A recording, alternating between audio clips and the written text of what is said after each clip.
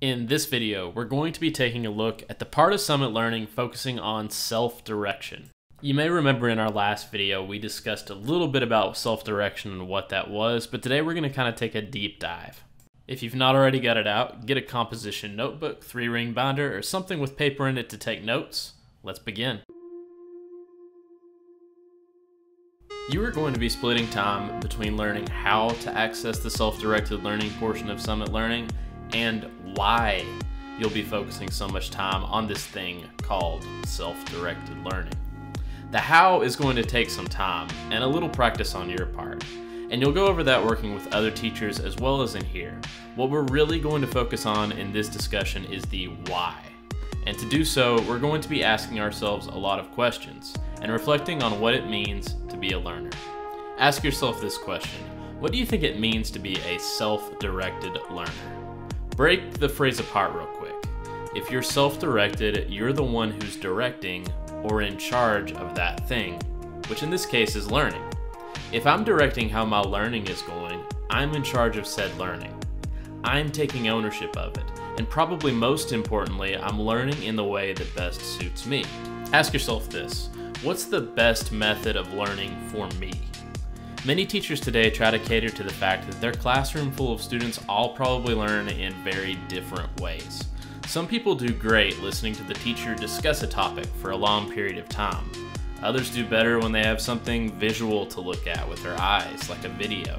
And others learn best by working with others in groups. The SDL part of the Summit Learning Platform tries to provide you with opportunities to learn about a topic in the way that best suits your learning needs. So, to simplify that, self directed learning is when I learn in the way that best suits my needs.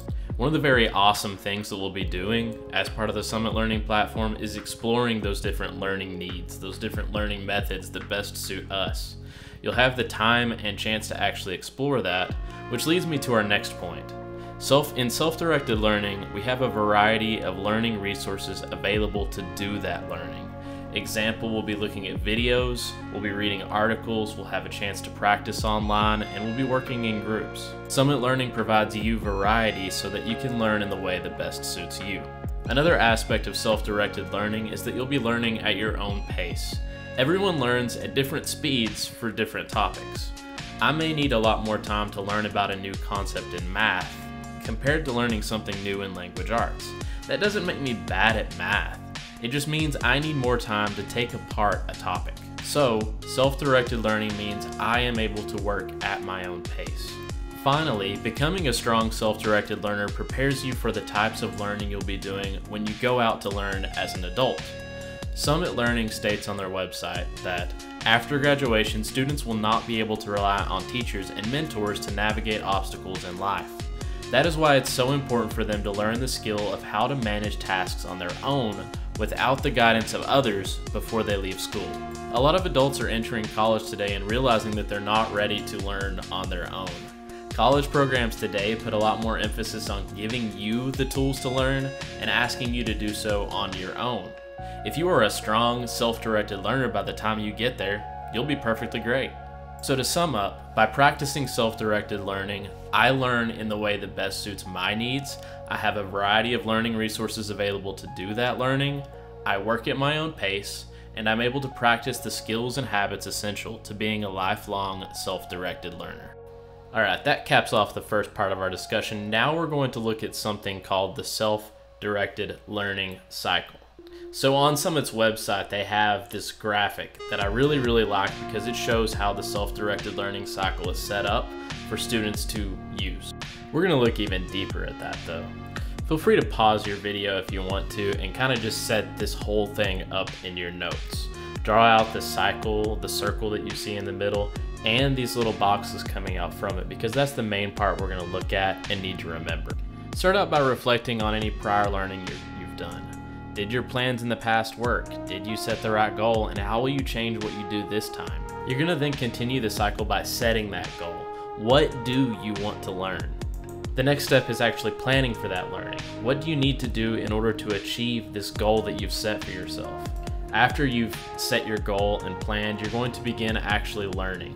Follow through on the steps of your plan and adjust your plan as necessary. Next, you're going to show or demonstrate your mastery over what you've learned. And you're going to cap off the cycle by reflecting. Did your plan work? Did you set the right goal? And how will you change what you do next time? While we're going to apply the self directed learning cycle specifically to working on those focus areas as part of SDL time for school, this is the type of thing that can help you actually set goals plan for those goals, and carry them out when you're doing any type of learning. Let's look at actually setting those goals and putting them into practice. Here's some ways that you can achieve those SMART goals. I would recommend putting this into your notes as well. First, be specific. What do I want to accomplish? Next, make sure that your goal is actually measurable. How will I measure the achievement of my goal? Next, make sure your goal is actually achievable. What are the specific steps to reach my goal? If I plan it out in advance, I have a better chance of actually getting it done. Ask yourself if this goal is relevant. How does this goal relate to my long term goals and interests? Make sure your goal is also time based. When do I want to complete my goal? Now, you'll actually practice setting these goals with your teachers, but I still wanted to give you kind of a heads up as to what you'll actually be doing. So, let's look at what that might actually look like. You're signing into Summit Learning and it's your SDL time. You're going to go look at your power focus areas and see what you need to get into. I need to get into Reading Strategies 6. I go into my weekly chart and I set a goal. I've not even started that focus area, so I'm going to set a goal to complete the diagnostic. And that's going to tell me what I actually need to learn, what I need to plan out so that I can complete that power focus area. I type it in, I go ahead and go back into Reading Strategy 6 and I start that diagnostic. So, new example. Let's say that I completed that diagnostic on Monday, and once I've got it done, I can actually start setting more clear, concrete, smart goals for myself. So on Tuesday, I put a goal into my planner that says I'm going to actually set SMART goals. I'm going to look individually at what I messed up, what I could do better in, what I can improve in, and I'm going to study that. I put a goal in to take video notes because that's the way that I've determined is great for me to learn. I put that in, set the goal, and I'm good to go.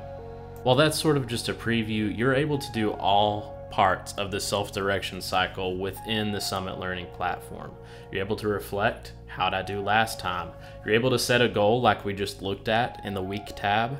You're able to learn using the different options on the platform you're able to show that work in the content assessments that you'll need to do, and then you'll reflect again before starting over.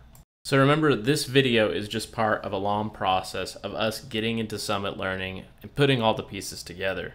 Your notes will help you in the long run, so make sure not to lose them, and thanks for watching.